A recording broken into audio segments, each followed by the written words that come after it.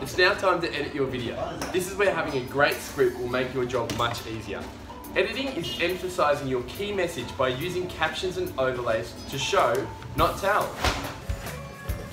First up, to trim your video. Trim off the 3 second countdown and any pause time at the end of the video so your video begins and ends professionally. Use the voice waveform to identify when you start and stop talking. Playback to ensure you trim in just the right spots. Trimming will ensure your video has a crisp beginning and end and looks professional. There are a number of editing tools in the app that you can use. Number one, you can use overlays, texts, images, videos and footage for your main video. What you can also do is you can split and join to move video segments to create a final video which is a composite of shorter videos.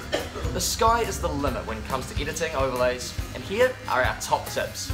For text captions, don't cover your face. Move the box if needed. Don't use large blocks of text. Highlight keywords and reiterate spoken words. For images, video overlays always film in landscape. Please make sure it's not in portrait or else you get those awful black bars on the side. Please make sure you also show, don't tell. This illustrates your point far better.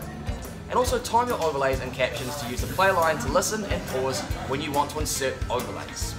Avoid maintaining overlays for longer than the topic is discussed. This is the tip of the iceberg when it comes to editing within the app. So don't be scared to explore splitting and joining videos to create your next masterpiece. The next step is to create a thumbnail for your video. This is your cover video and will appear anywhere you share your video.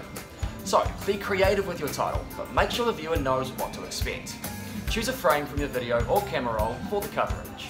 Use the thumbnail to entice your audience to click play and contribute to your personal brand.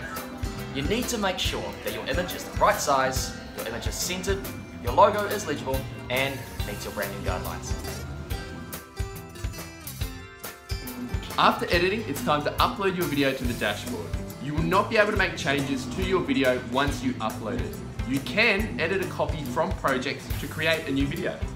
Add a description to your video as well. This will tell viewers what your video is all about. Here you can use relevant keywords to really increase your video searchability, and this really helps for publicly listed videos. The description appears below the video on YouTube and in Google searches.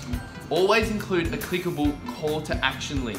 For job ads, use the apply link.